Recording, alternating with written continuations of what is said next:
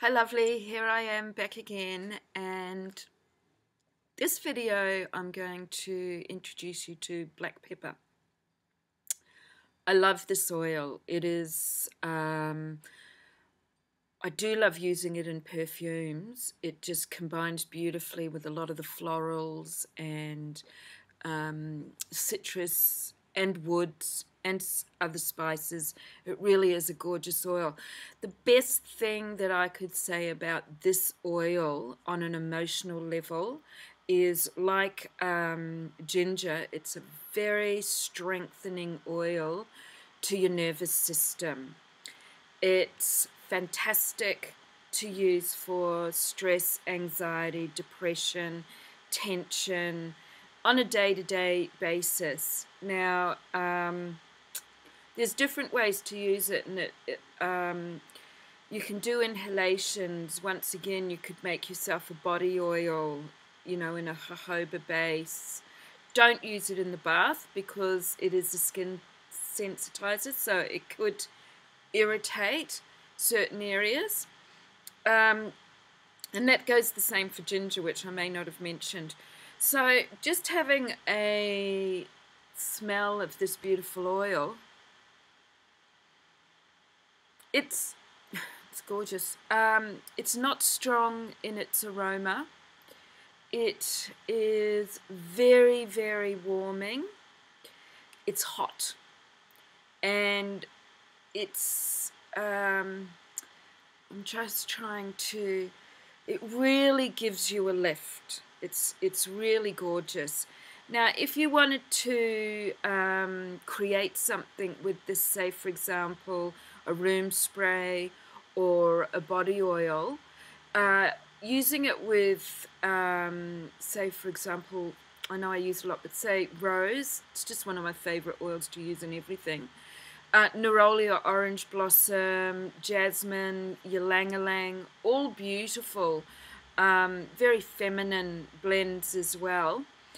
And um, this, like uh, ginger essential oil is excellent for the circulation, fantastic for helping with pain management. You know, it's another rubefacient. It helps bring the blood to the surface and get it circulating.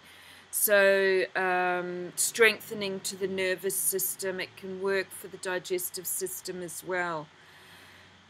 A lot of these oils are fantastic immune boosters.